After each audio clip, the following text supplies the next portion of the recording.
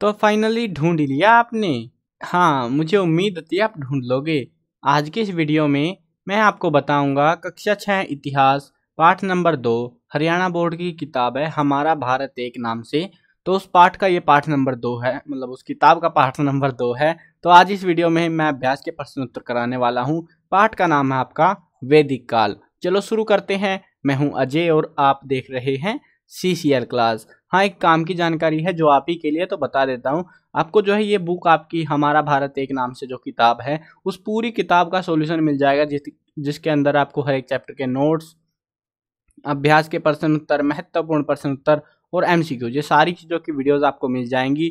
तो link description में checkout आप कर सकते हो। लिखे हुए भी हैं और वीडियोस भी है, दोनों तरीके से हैं। तो कमेंट में भी फ़र्स्ट कमेंट चेक कर लेना और साथ में डिस्क्रिप्शन जहाँ से जाना चाहो जा सकते हो। चलो, अब शुरू करते हैं।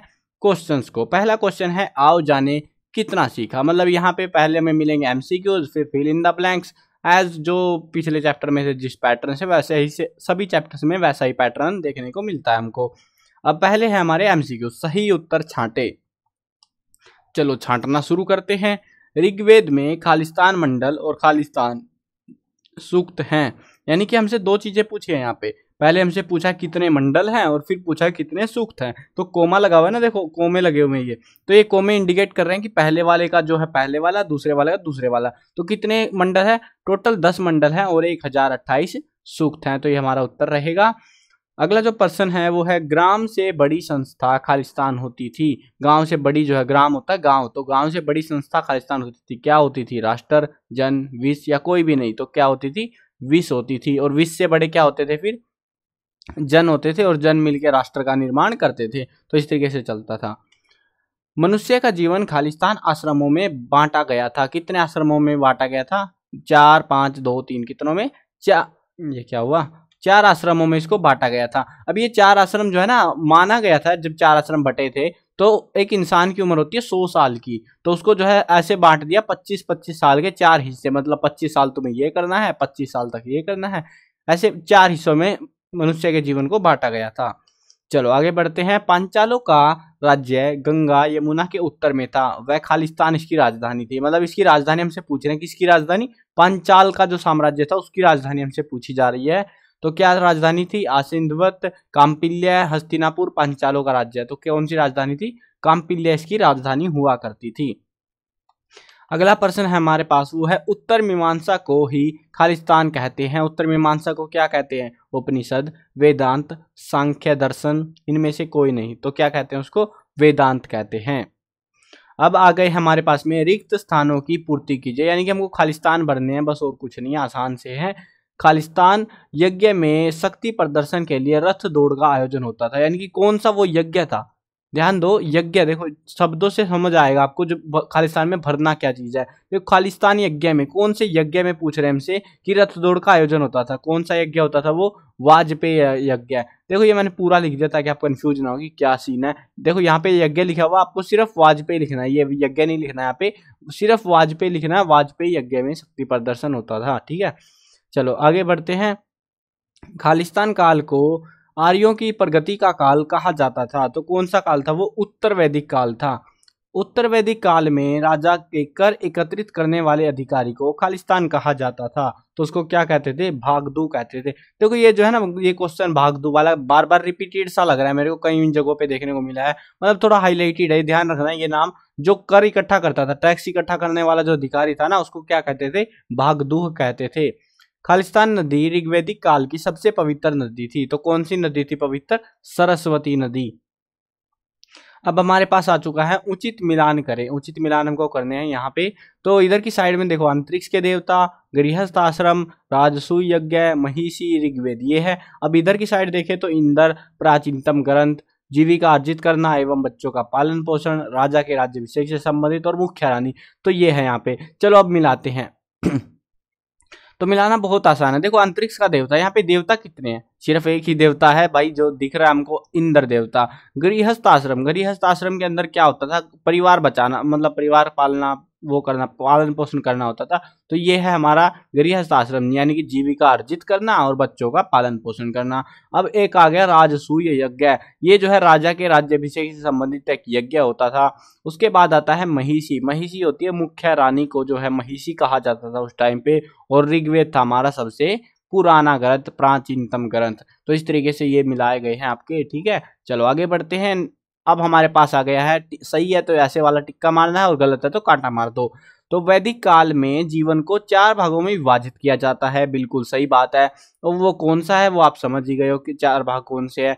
वैदिक काल में सभा और समितियाँ संस्थाएँ राजाओं पर अंकुश रखती थी, बिल्कुल सही बात है, ये जो है संस्थाएँ राजाओं पर अंकुश रखती थी। ज़्यादातर जो है गणराज्य के अंदर हमें देखने को मिलता था, ये जो आज़ादी का राज्य होता था ना, आज़ाद लोग जहाँ रहते थे तो वहाँ पे जो है हमें ये चीज़ें देखने को मिलती थी।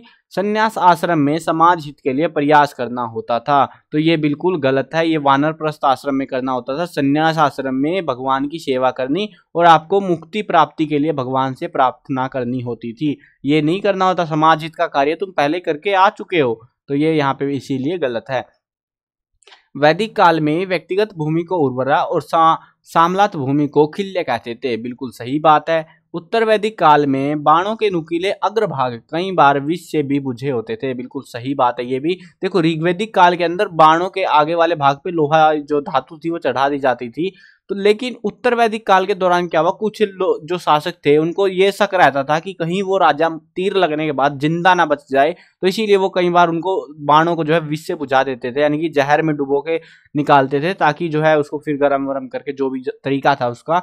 तो उससे होता क्या था? अगर वो तीर, पहले एक केस देखते हैं, अगर ऋग्वेदिक काल का एक बंदे को तीर लगता है, ये बंदा हमारा, ऋग्वेदिक काल का तीर लगा इसको आके तो ये बंदा घायल हो जाएगा, उसके बाद इस तीर को निकालो और इलाज करो, ठीक हो सकता चांस है कहीं ना कहीं, अगर वो ऐसी खतरनाक जगह पे ना लगा हो तीर। लेकिन ये जो विष बुझा तीर है, अगर ये उसको लग गया तो वो वहीं पे खत्म हो जाएगा, एक दो मिनट का टाइम होगा, जिसके अंदर कोई कुछ नहीं कर पाएगा, क्योंकि युद्ध के दौरान इतना आसान नहीं होता ना बस जान बचानी। तो यहाँ पे ज़्यादा चांस थे कि किसी राजा वगैरह पे को मारने के लिए खासतौर पर ऐसी तीरों का इस्तेमाल किया जाता था। चलो, आगे बढ़ते हैं। लघु प्रश्न उत्तर हमको करने हैं। लघु मतलब छोटे वाले प्रश्न है। विश्व का सबसे प्राचीन ग्रंथ कौन सा है? बहुत ही प्यारा और आसान सा क्वेश्चन है। ऋग्वेद है सबसे पुराना। ये तो याद रख लेना यार, नाम इसका एक नाम है। सबसे पुराना क्या है? ऋग्वेद है। राजा और प्रजा के बीच में मध्यस्थता का कार्य कौन कौन करते थे? मध्यस्थता होती है, यानी कि राजा अपने स्वैग में जी रहा है, प्रजा अपनी ज़िंदगी जी रही है। उनको बीच में जोड़ने का काम कौन करता था? ऐसे राजा को पूछेगा कौन, है ना? राजा की इज़्ज़त क्या रह जाएगी? तो इनको जोड़ने के लिए बीच में मध्यस्थता का काम करते थे, जो प्रजा को नियंत्रण करना और जो सारी चीज़ें करते थे। तो वो कौन कौन लोग होते थे? खासतौर पे वो होते थे पुरोहित, सेनापति, ग्रामणी आदि होते थे जो राजा और प्रजा के बीच में मध्यस्थ का कार्य करते थे। ये देखो तीन ही नाम है बस, वैसे एक्चुअली में तो। वो, ये तो सेम टू सेम इसी में से टेप रखा ऊपर से ही। चलो, आगे बढ़ते हैं। ऋग्वेद की रचना किसने और कहाँ की थी? अब ऋग्वेद एक बहुत ही प्राचीन ग्रंथ है और इसकी रचना ऐसे अकेले बंदे ने नहीं करी थी, बहुत सारे ऋषि मुनियों ने मिल के इस ग्रंथ की रचना करी थी। तो ऋग्वेद की रचना ग्रीष्मद विश्वामित्र वामदेव, अत्रि, भारद्वाज, वशिष्ठ, कणव और अंगीरा आदि ऋषियों ने सरस्वती और दसदवती नदियों के किनारे पर की थी। अब ये आपको अजीब लगेगा, ये दसदवती नदी कहाँ से, कौन सी नदी है? देखो, ये पुराचीन नदी थी जो कि समय के साथ सूख चुकी है और हमें इसका ज़्यादा जानकारी नहीं है। बट हाँ सरस्वती नदी काफ़ी प्रसिद्ध नदी रही है प्राचीन में भी और काफ़ी लंबे समय तक चलती भी रही है। तो इसीलिए हम इस नदी को तो जानते हैं, इसको, इसका नाम नहीं सुना हमने, है ना? तो लेकिन ये दो नदियाँ थी उस टाइम पे जो हमें ग्रंथ वगैरह में मिला है तो उसी हिसाब से टेप रखा ये। तो यहाँ पे ये कुछ लोग थे, कुछ मुनि थे और ये एक टाइम के नहीं थे, ऐसा नहीं था कि सबने इकट्ठा बैठ के ऐसे चलो वेद लिखते हैं और वेद लिख दिया बैठ के, नहीं। ये जो है किसी ने थोड़ा सा अपना योगदान दिया, किसी ने कभी अपना योगदान दिया, पता लगे 200 साल बाद किसी ने अपना योगदान दे दिया उस वेद में। तो ऐसे थोड़ा थोड़ा थोड़ा थोड़ा इकट्ठा होकर एक ऋग्वेद प्रॉपर बना था। चलो, आगे बढ़ते हैं। उत्तर वैदिक काल के प्रमुख राज्यों के नाम लिखने हैं। राज्य जो थे, प्रमुख राज्य मेन मेन राज्य जो याद आ रहे हो, वो लिख दो। कुरु, पांचाल, काशी, कौशल, विधे और भी बहुत सारे थे, लेकिन वो आपको फोर्थ चैप्टर के अंदर पढ़ने को मिलेंगे उन चीज़ों के बारे में, जो राज्य, साम्राज्य, क्या सीन चल रहा था। बट मेन मेन से ये थे हमारे, कुरु, पांचाल, काशी, कौशल। हमें कितने प्रमुख राज्यों के नाम लिखने हैं? तीन लिख लो, तीन याद आए तो चार लिख लो, पाँच। पाँच मैंने इसीलिए लिखे ताकि आपको दो तीन तो याद रह जाए, है ना? वो डिपेंड करता है कितने नंबर का आता है। अगर एक नंबर का आता है तो दो राज्य लिखे तो काफ़ी भी आप, आपके लिए वो भी काफ़ी रहेंगे। उत्तर वैदिक काल में शासन की कुशलता के लिए राजा द्वारा किन किन अधिकारियों की नियुक्ति की जाती थी? उनके कार्यों का उल्लेख करें।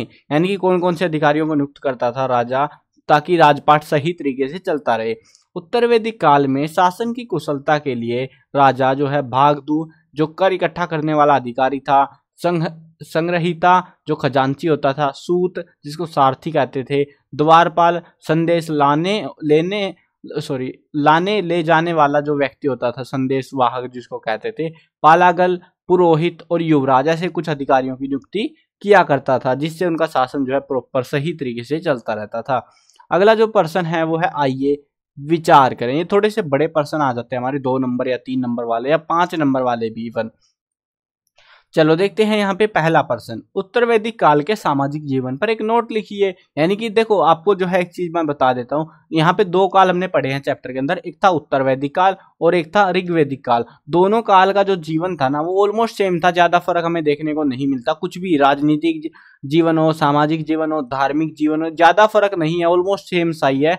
तो ध्यान रखना, अगर लिखने में अगर आपसे मतलब आपको एक याद आ रहा है, दूसरा याद नहीं आ रहा और आपसे बोले कि यहीं पे इसको बदल के कर दे ऋग्वेदिक और ऑलमोस्ट सेम सा ही आपको लिखना, ज़्यादा फ़र्क नहीं देखने को मिलेगा आपको, ठीक है? चलो देखते हैं फिर भी।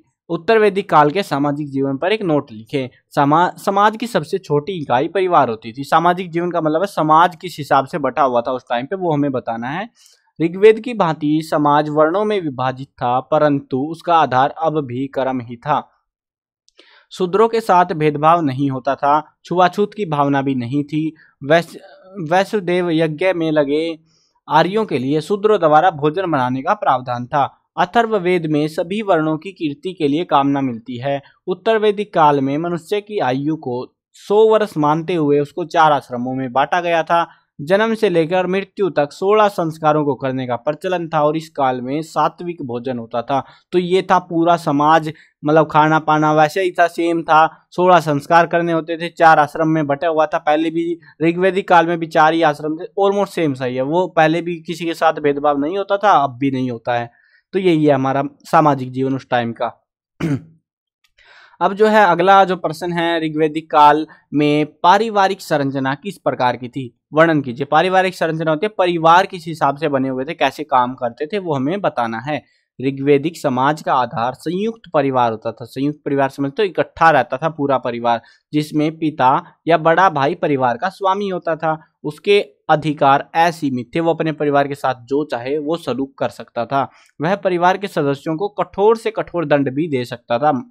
जान नहीं ले सकता था, बाकी सब कर सकता था, मार कुटाई जितनी करनी है। लेकिन ऐसा होता नहीं था, वह बहुत ही प्यार से अपने परिवार को चलाता था।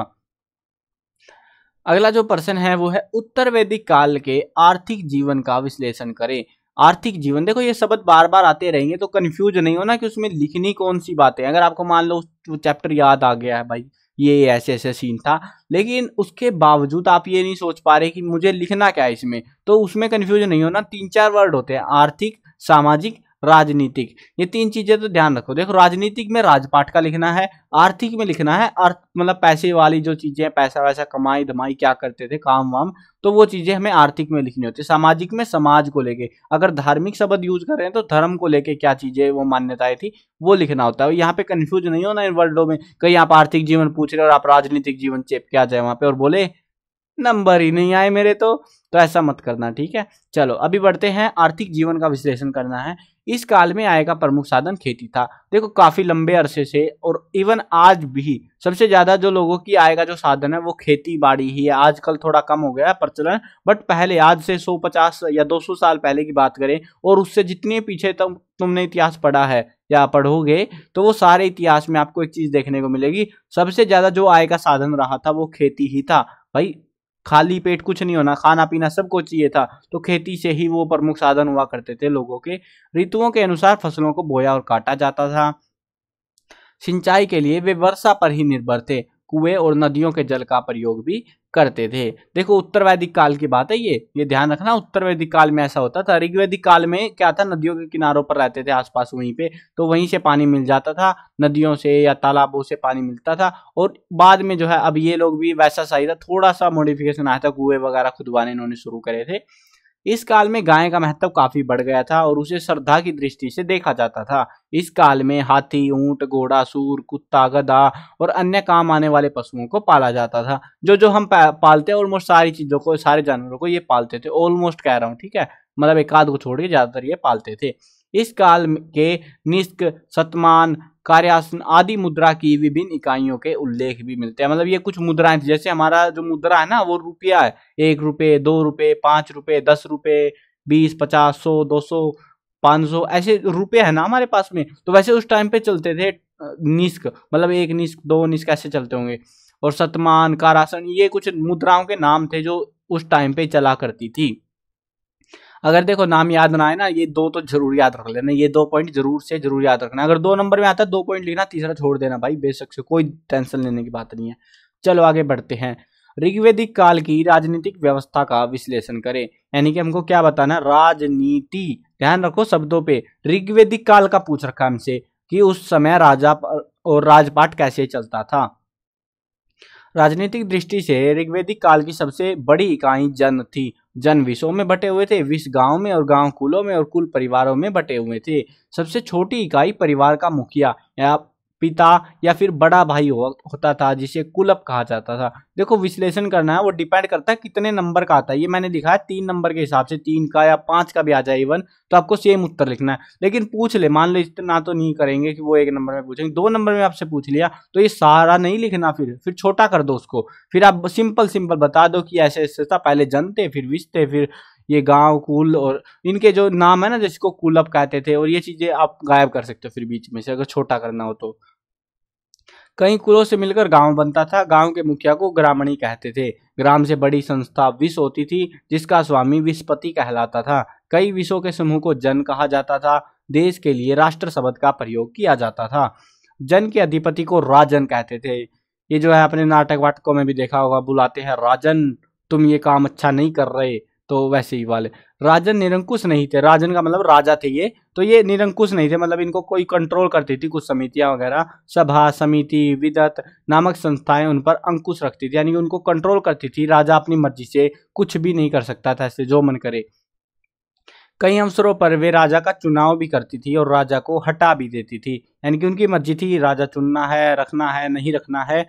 राजा की सहायता के लिए पुरोहित, सेनापति, ग्रामणी आदि होते थे, जो राजा और प्रजा के बीच में मध्यस्थ का काम करते थे। इन्हें अपने अपने भूभाग में शासन और न्याय के अधिकार प्राप्त थे।